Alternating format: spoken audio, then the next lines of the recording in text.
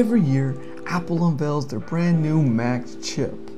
And today is no different. Today we have two of the M4 Max variants, one being the 14 core CPU, 32 core GPU, and over here we have the 16 core CPU and 40 core GPU. Now, the real question is, can you really tell the difference between the 14 core and the 16 core for not only just benchmarks, but for everyday tasks such as video editing, browsing the web, and even some Xcode development. And today, I want to hopefully answer those questions and maybe convince you that you either might need this or you might not be able to step down to some of the other chips. And with that being said, let's dive in. So for our core breakdown in our M4 Max 14 versus the 16 core, on the 14 core, we get 10 performance cores and 4 efficiency cores.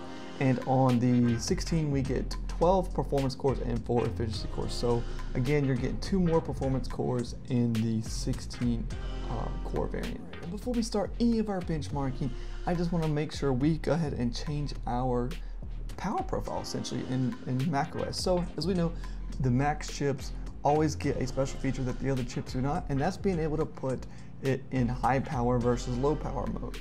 And if I'm buying the Max device or Max chip, um, I want to make sure and ensure that I always have the most power that I can get, whether I'm on battery or plugged in. And I'm going to change both of these to high power just so we have get consistent results and get the most out of our device. And with that being said, let's go ahead and hop into our first actual benchmark, and that's going to be with Geekbench. So let's head over there.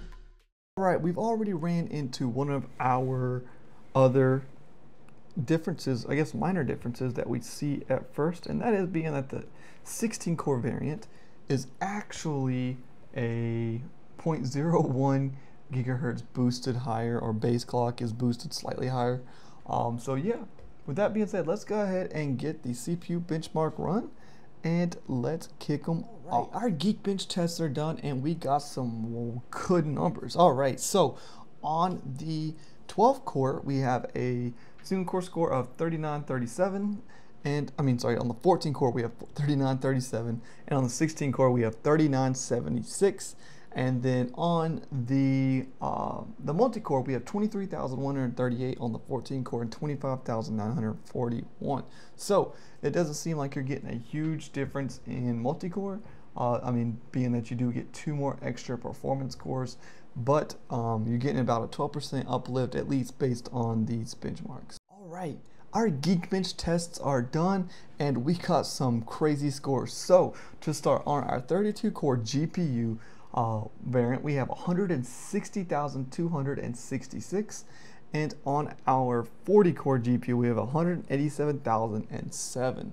So just to reference, our M4 Pro from yesterday with a 20 core GPU, we got about 98,000 around that number. Um, so it's good to see that these numbers are going up linearly and that they are scaling correct. All right, our uh, Xcode benchmark is complete. So on our 14 core CPU, uh, we got a or compiled it in a minute or 106 seconds. So that's about what a minute and 36 seconds versus a minute or 103 seconds um, on our 16 core. So what I will note is that during our tests we got a bunch of fan speed on our 14 inch, but not our 16 inch. So it seems like the 16 inch is going to keep it a little bit cooler um, it is a little bit hot to the touch, but the RPMs on the fans did not reach anything higher than like 2600, maybe 3000 RPMs, and you couldn't hear it at all. Versus we had like 6500 RPMs on our 14 inch 14 core CPU. Um, so definitely something to notice there, and I'll make sure I include the sound clips for that as well.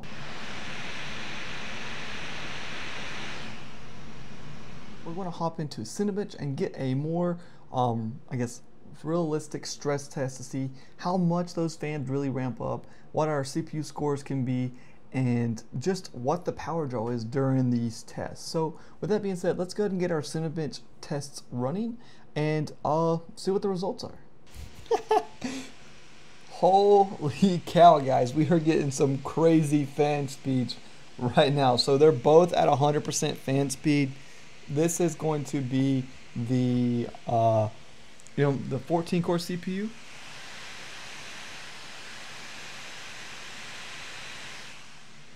and this is the 16 core CPU.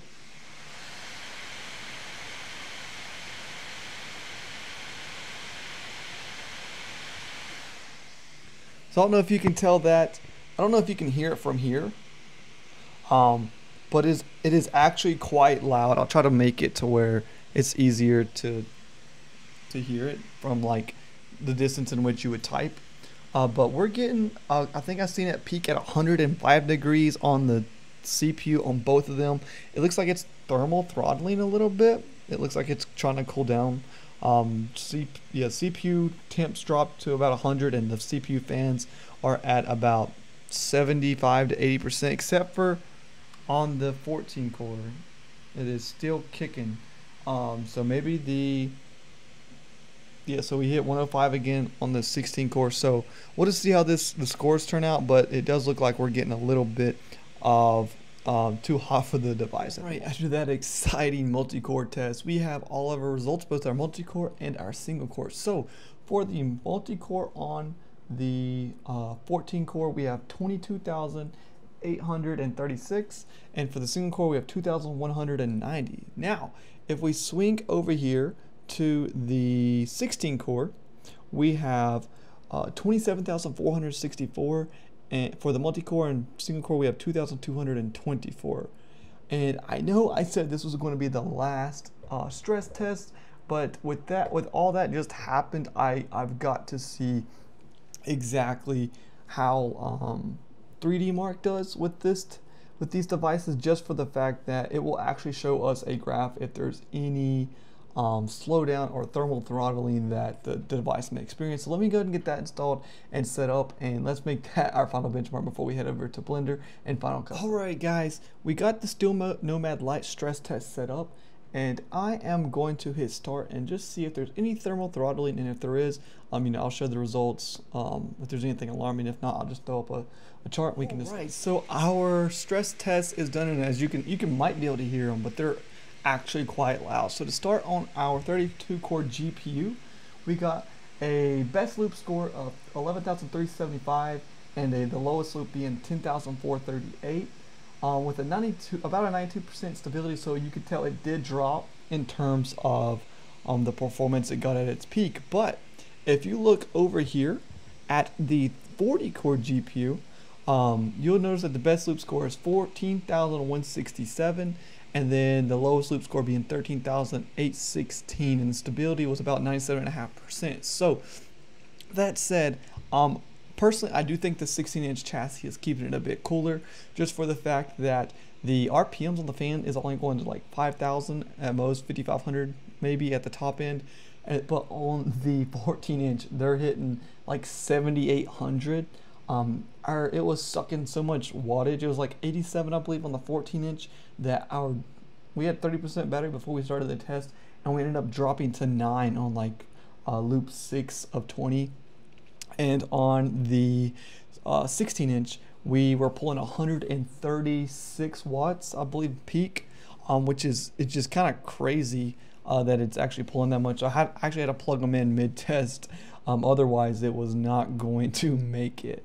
Um, the hottest core, it seems like we got what 107 uh, on both of them. I believe maybe 105. Yeah, 107 on both of them. Fans were at 100% the whole time. Uh, but yeah, so it looks like the the 16 inch held up. They did pretty good. They but they, they were crazy loud though. So um, hopefully I was able to capture that and display that to you guys um, the best as I can. Um, and with that being said, let's head into our final two tests, and that being Blender. All and right, now cut. for this, we're going to do our um, BMW render scene, and we're going to see exactly how fast each of them handle um, handle this is the CPU, and then we'll do the GPU next. All right, so our Blender CPU test is done, and on the uh, 14 core, we got a score or a time of a minute and 37 seconds. And on our 16 core, we got a minute and 21 seconds. So now let's head over to our uh, GPU test and see um, how big of a difference that makes. All right, our GPU Blender test is done. We got 40 seconds on the 32 core and 36 seconds on the 40 core. So it looks like minimal return in something this small, uh, but definitely if it was a bigger uh, or longer render, it probably would have definitely had a bigger gap. So let's do our Final Cut Pro test and call it and wrap up with a summary. All right, so I have our Final Cut Pro here. What we're going to do is export it in uh, ProRes first, um, just to use Apple's actual encoders. To uh, honestly, I want to see um, how it compares to yesterday. See if they got different encoders on the Max chip. Um, but let's see here. Let's go ahead and get this. I just wanted to give a quick update in the video. I do say that they have different media encoders. They do not have different media encoders than the Pro chip. They just have dual media encoders, and I'll be sure to throw up the screenshot.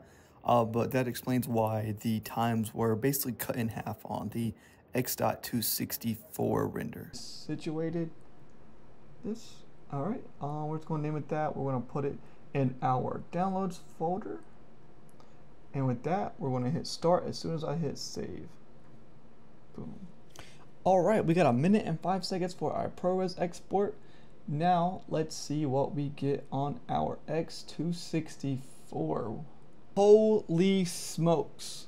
We just rendered that in 2 minutes and 41 seconds. And if you recall yesterday, or yesterday's video, or the last video I posted on the Mac Mini and the M4 Pro chip, it actually did it in 4 minutes and 30 some seconds. So we're definitely getting a set of new media encoders on this chip.